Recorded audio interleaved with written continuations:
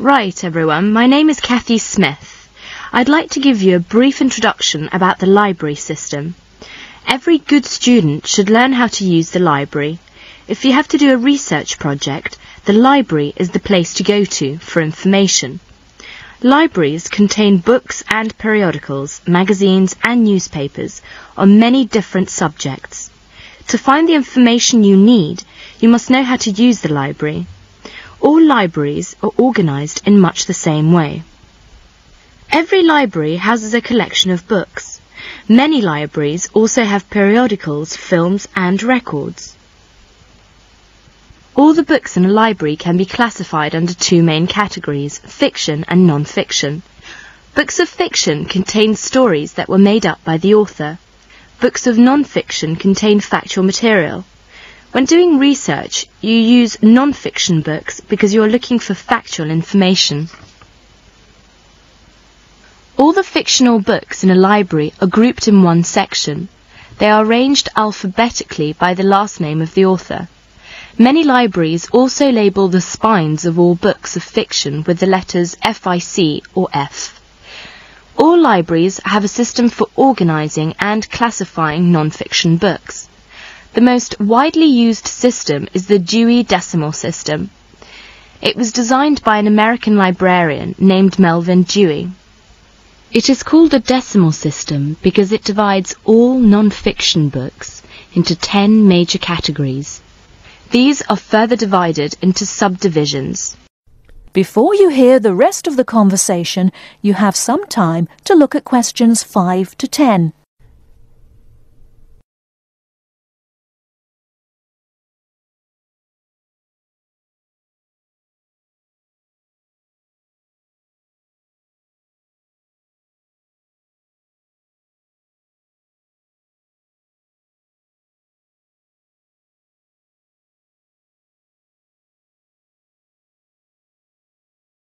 Now listen and answer questions 5 to 10.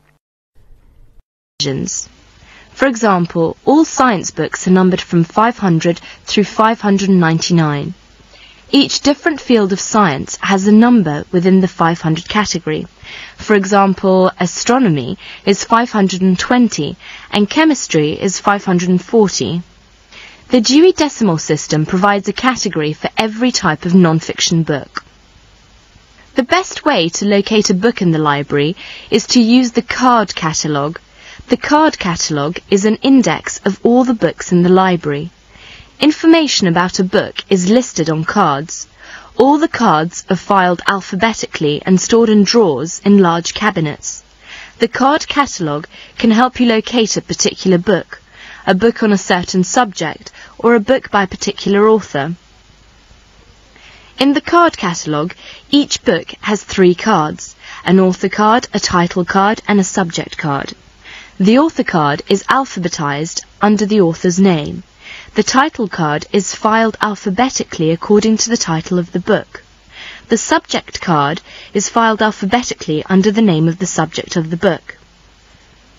In many university libraries, they use their own Biblitus cataloguing system or the microfiche system. Both of them list publications under author and title, and both are very easy to use. Now let us see the reference books. We all know that reference books make up important part of a library's non-fiction books collection. They contain facts and information about any subject you can think of. Reference books are not meant to be read from cover to cover. You should use them when you want important facts and information about a particular subject. Let's see some major types of reference books. First, dictionaries. Dictionaries are books that list and give the meanings of the words in a language. They also give the pronunciation of words in a dictionary which are listed alphabetically. Second is encyclopedias. Encyclopedias are reference books that provide factual information about people, events, places and subjects of lasting interest. Each article is written by a specialist on the topic being discussed. An encyclopedia usually consists of a number of books arranged in a set. The volumes are arranged in alphabetical order according to the topic of each article. Letters are stamped on the spine of each volume to indicate the alphabetical rang of the topics in each volume. For instance, if you wanted to find information about the moon, you would look in volume 8 of the encyclopedia pictured here. Next is atlases. An atlas is a book of maps. It may contain many different kinds of maps. The maps in an atlas are often arranged alphabetically by country or continent. Almanacs are also a type of reference books. An almanac is a book that contains recent statistics and summaries of information on a wide variety of topics. It is published annually. Information is listed alphabetically by subject. Indexes are alphabetical lists of names, titles and subjects that tell where information about each can be found in other publications. For example, the Reader's Guide to Periodical Literature can help you find magazine articles that have been published about a particular subject. It will give you the names of publications that have carried articles about the subject, the dates and volume numbers of the particular issue in which the articles appeared. You should be aware that reference books may not be taken out of the library under any circumstances. They are used only in the library. That is the end of part one. You now have half a minute to check your answers.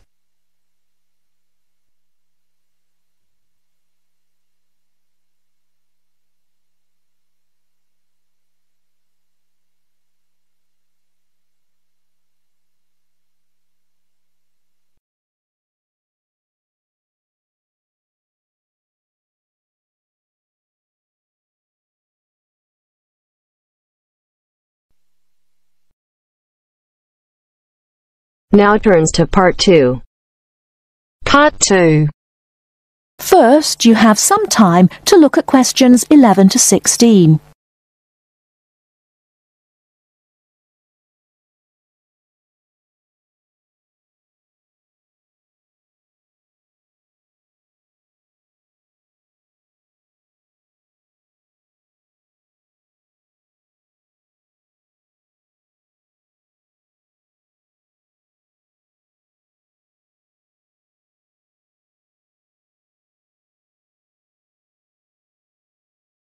Now, listen carefully and answer questions 11 to 16.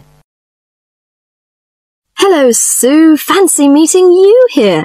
It is Sue Johnson, isn't it? Oh, hi, Jill. It must be ages since we've seen each other. What a surprise. How are you? Yes, well, uh, I'm fine. I just got back from two years teaching in Hong Kong, actually. Oh, I thought you'd gone into computing or nursing. No, I ended up being a teacher after all. And how about you? Oh, fine. Things are going quite well, in fact. So, what have you been up to over the last three years? Working, studying, you know, the usual things. Oh, and I got married last year. Congratulations. Anyone I know? Yeah, you might remember him from our college days. Uh, do you remember Jerry? Jerry Fox? Jerry? Was he the one with the dark hair and beard? No, that was Sam. No, Jerry's got blonde hair and glasses. He's pretty tall. Well, we got married, finally. Great. And where did the wedding take place? Was it here in London? No, in the end, we decided to get married in Scotland. Jerry's parents live there, so we were married in the small village church with the mountains in the background. Fabulous. Have you got any pictures? Well, funny you should ask. I have actually got a couple here. They're a bit battered because I've been carrying them around in my bag. oh, never mind. Let's have a look. Oh, don't you look wonderful? Who are those people behind you? Oh, that's my older sister, Clara. Oh, she looks like you. Do you think so? Everyone says that, but we can't see it. Is she married now? Yes, and she's got three children, a girl and twin boys as well. Wow, imagine having twins. Look, why don't we have dinner together and catch up on a few things? Would you like to come over one evening? Oh, that'd be lovely. What about next Friday evening? Fine. What time? Shall I come over about eight o'clock? Oh, come about half past seven. I'm usually home around six thirty, so that'd give me plenty of time to get dinner ready. Oh, fine. And, um, one last thing. Where do you live? What's the address? Oh, good thinking. Here's my card. The address is on the back. We've got a flat in an old house. We live on the third floor of a large old house. The house has been converted into flats, so when you arrive, you'll need to press the bell second from the top. Uh, the bell second from the top, okay? There's a little intercom arrangement, so I can let you in. Right, okay, see you on Friday then.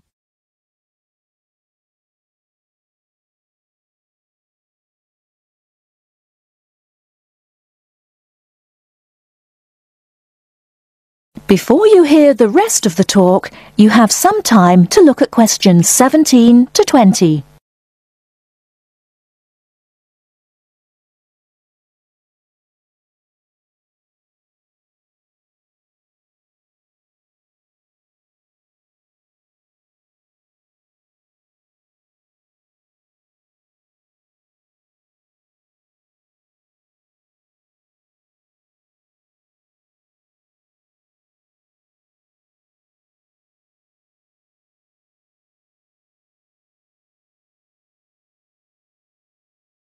Now listen and answer questions 17 to 20.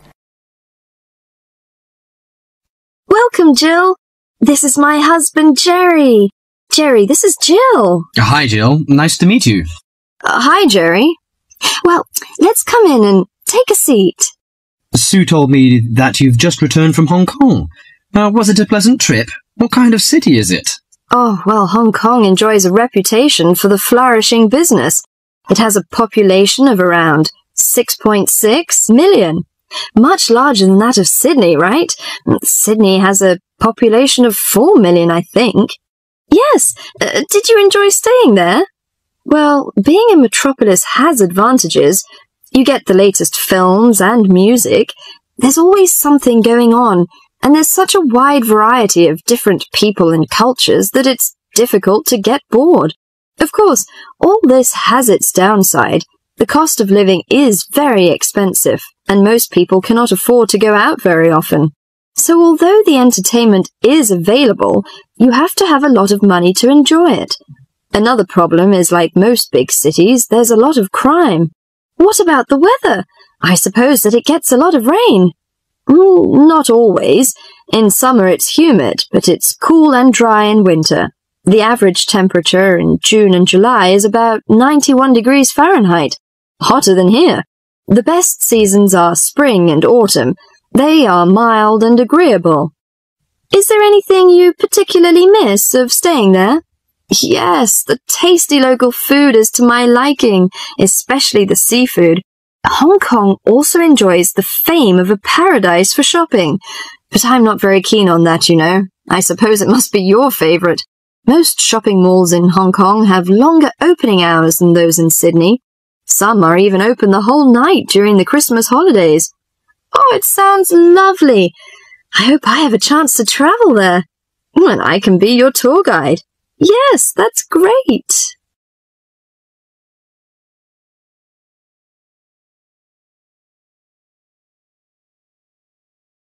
That is the end of part 2. You now have half a minute to check your answers.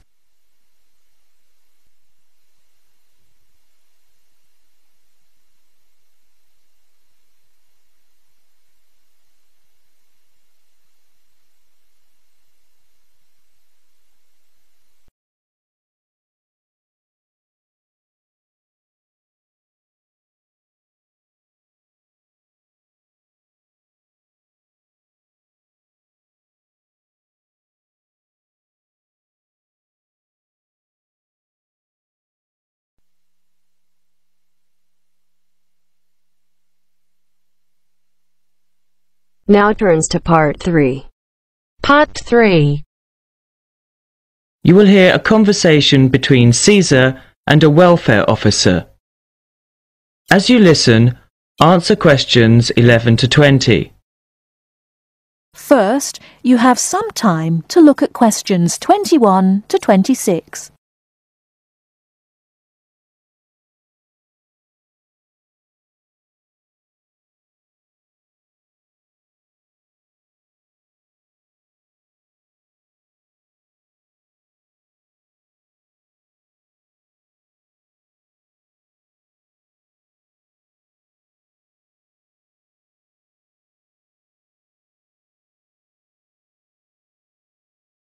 Now listen carefully and answer questions 21 to 26.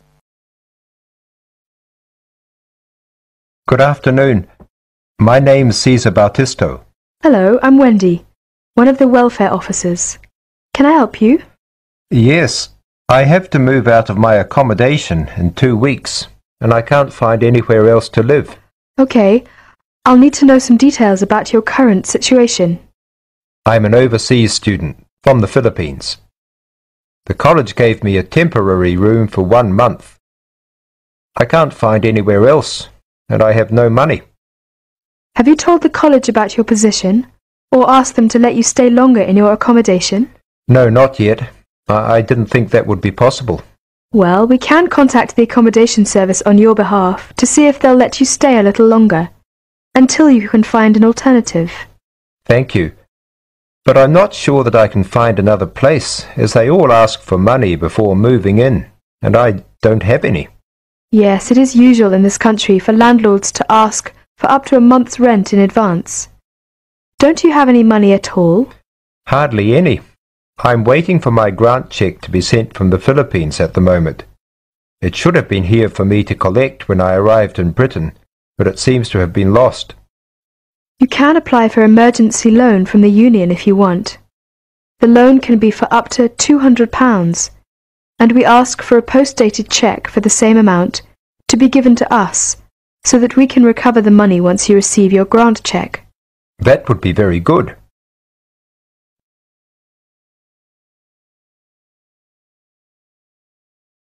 Before you hear the rest of the talk, you have some time to look at questions 27 to 30.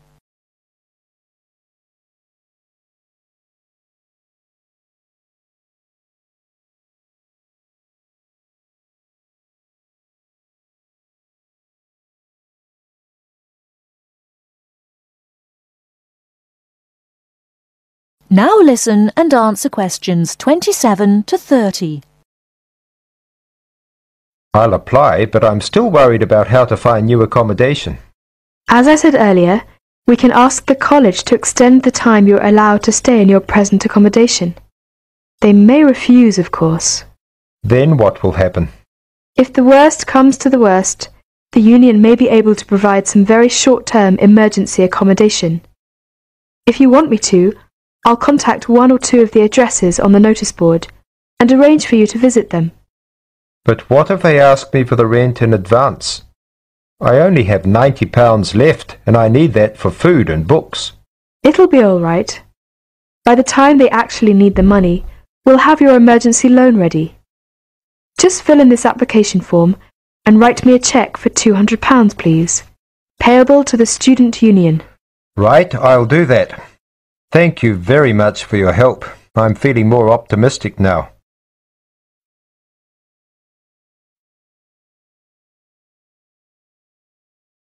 That is the end of part 3. You now have half a minute to check your answers.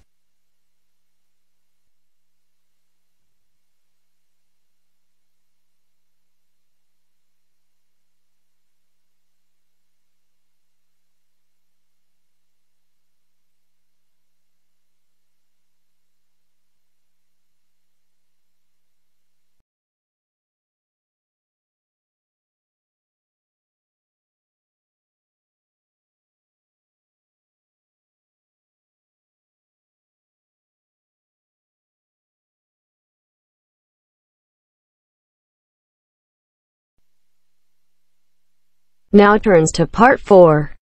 Part 4. You're going to hear a talk about the English policeman. As you listen, complete the notes below. First, you have some time to look at questions 31 to 40.